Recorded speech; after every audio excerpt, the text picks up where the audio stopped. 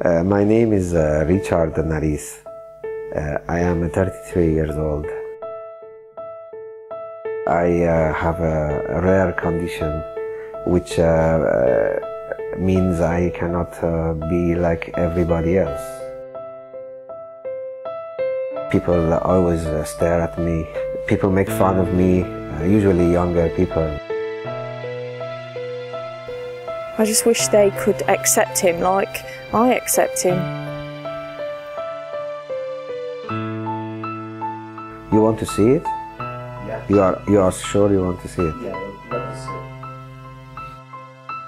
If uh, I can uh, be um, like uh, everybody else, I will feel normal.